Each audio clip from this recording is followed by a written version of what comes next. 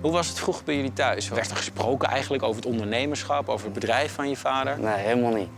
Want eh, dat is eigenlijk pas in een later stadium gekomen. Dus je wist helemaal niet wat je vader deed? Ja, ik heb, wij zijn vroeger, wij woonden op een boerderij en daar stonden vroeger ook nog echt stieren in. Maar ik heb dus altijd gedacht dat hij boer was. Je dacht dat je vader boer was? Ja, ja, ja. Zo, en zo bracht ik ook over op school naar vriendjes. En bij ons was het altijd spelen in de, ja, in de boerderij tussen de hooiballen en eh, tractoren. En... Totale, totale verrassing dat je vader de eigenaar was van het autoton. Ja, in principe wel. ik, ja, ik- Dus je denkt dat je vader een- een boer is, maar hij staat in de code 500? ja, en dat interesseerde me toen ook helemaal niks. Nee, Nou, nee. en dat is misschien ook maar goed ook. Want wanneer kregen jullie door wat het bedrijf van je vader eigenlijk voorstelde?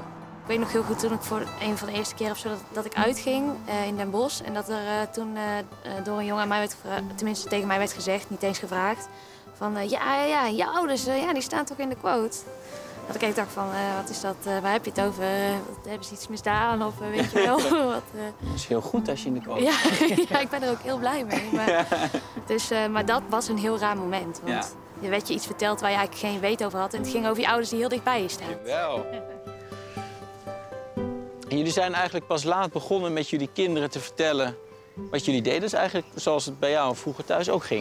Nee, daar hebben we bewust heel lang mee, gewacht. Eh, ook een keer op een vakantie in, eh, in eh, Mexico, ik denk een jaar of zeven geleden of acht geleden.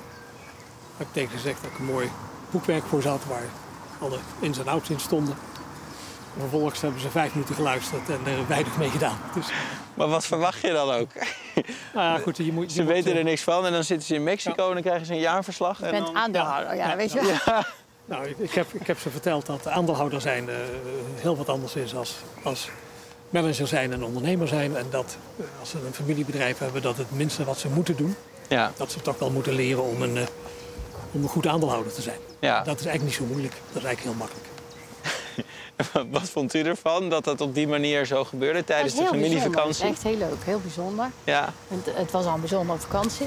Dus we zaten echt met z'n drieën zo. van, Nou, het, eh, een brief had hij geschreven. En zij zaten van, wow. En punt voor punt werd dan voorgelezen. Maar zaten ze daar wel op te wachten als jong volwassenen opeens zo'n Nee, nee, boekwerk? ab- absoluut niet. En dat hadden ze ook niet van ze verwacht. Nee. Maar we vonden in ieder geval dat ze gedocumenteerd moesten krijgen wat het ongeveer eh, allemaal eh inhield. Het werd gewoon tijd.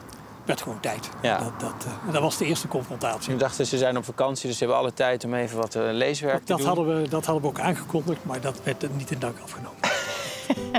en eigenlijk is dat ook heel goed. Op die leeftijd heb je wel belangrijkere dingen aan je hoofd. Ja, je te bemoeien met het bedrijf van je, van je vader en je moeder. ja.